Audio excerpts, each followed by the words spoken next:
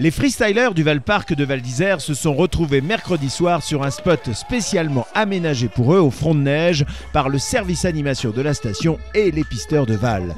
But de cette présence, participer à un contest en nocturne pour le fun et le spectacle.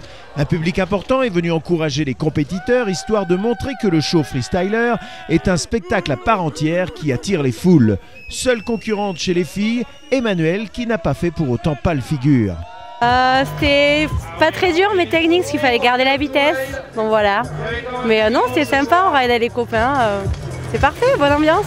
Chez les skieurs, Juliane s'est payée de beaux jumps qui ont impressionné les spectateurs. I didn't actually know about the contest until maybe two hours ago. I was walking past and uh, yeah, it was a good event, good to show up and have some fun. atmosphere tonight. Yeah, great atmosphere, great crowd, like very supportive, lots of smiles. It was good.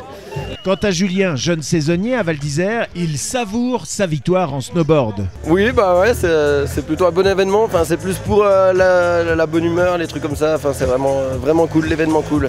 Si le goût vous en dit, il n'y a plus qu'à s'entraîner au Val-Parc de Val d'Isère, défini comme étant l'un des meilleurs de France dans la presse spécialisée.